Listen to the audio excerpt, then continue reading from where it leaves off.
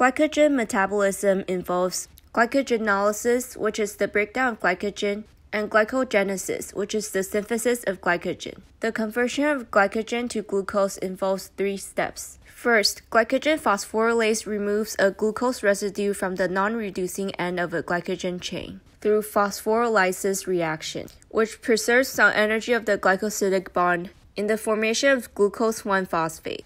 The phosphorylases reaction also requires an essential cofactor called pyridoxal phosphate or PLP, which acts as a general acid catalyst.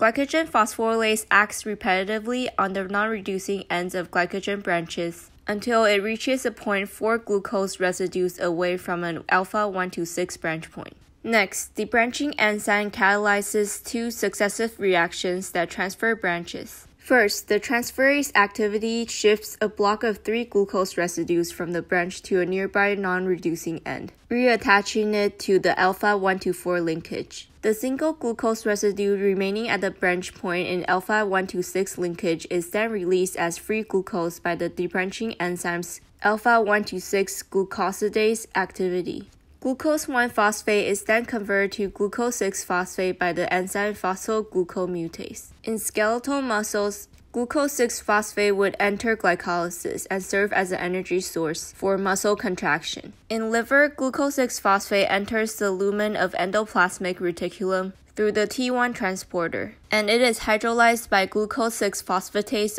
into glucose and inorganic phosphate, which are transported out of the ER lumen through T2 and T3 transporters, and exit liver cells or hepatocytes through the GLUT2 transporter in the plasma membrane. The liver releases glucose when the blood glucose level drops.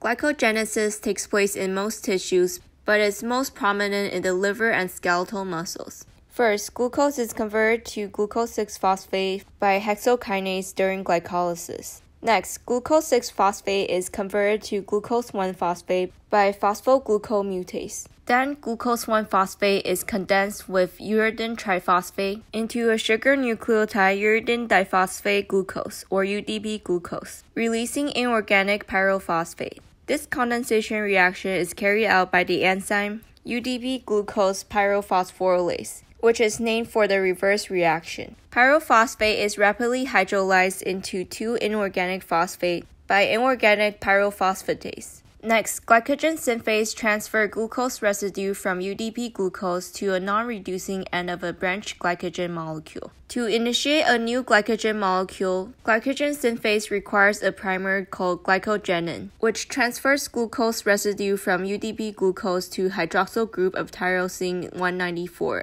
after glycogenin extends about 7 glucose residues, glycogen synthase can then take over. Glycogen synthase cannot make the alpha 1 to 6 bonds found at the branch points of glycogen. These are formed by the glycogen branching enzyme, which catalyzes the transfer of terminal fragment of 6 to 7 glucose residues from the non-reducing end of a glycogen branch to the carbon 6 hydroxyl group of a glucose residue at a more interior position of the glycogen chain. Branching makes glycogen molecule more soluble and increases the sites accessible to glycogen phosphorylase and glycogen synthase. The rate limiting step of glycogenolysis is glycogen phosphorylase and the rate limiting step of glycogenesis is glycogen synthase. These two enzymes are subject to a series of hormonal regulation.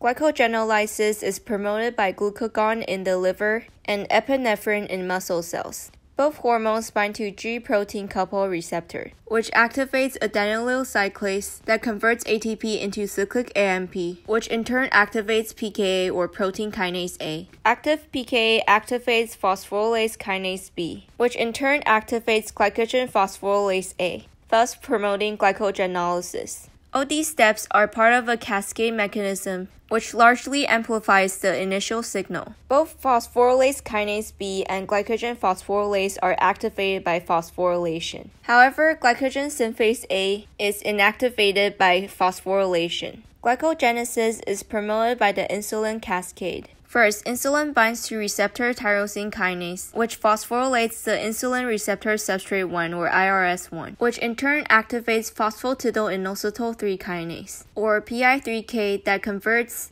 phosphatidylinositol bisphosphate in the membrane to phosphatidylinositol triphosphate, which activates a protein kinase known as PDK1 that in turn activates protein kinase B or PKB. PKB phosphorylates glycogen synthase kinase 3, preventing glycogen synthase 3 from inactivating glycogen synthase. In the absence of insulin, active form of glycogen synthase kinase 3 will phosphorylate glycogen synthase A primed by casein kinase 2. Phosphorylation of glycogen synthase A would deactivate it.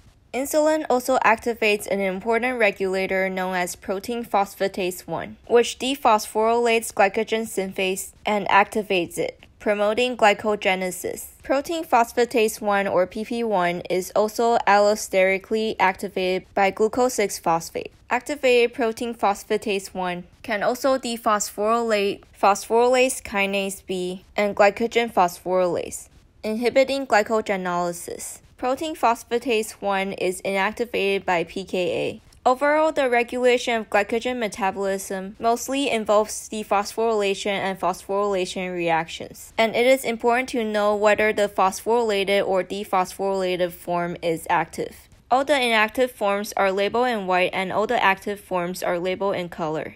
The intermediate of glycogenesis, UDP glucose, can also be oxidized into UDP glucuronic acid, which is an important precursor to many biosynthetic pathways, including the synthesis of L-ascorbic acid or vitamin C, glycosaminoglycans, and proteoglycans. UDP glucuronate also binds to bilirubin, which is a waste product of the red blood cells, making it soluble in water. Glycogen storage disease is a metabolic disorder caused by enzyme deficiencies in either glycogenolysis and glycogenesis. Type 1 glycogen storage disease is known as von Gierke. It is caused by a deficiency in glucose 6 phosphatase, resulting in the liver being unable to properly break down stored glycogen, leading to severe low blood sugar. Type 2 glycogen storage disease is known as Pompe disease. It is caused by a deficiency in lysosomal alpha glucosidase enzyme, resulting in an accumulation of glycogen in lysosome, leading to damages in muscle and nerve cells throughout the body.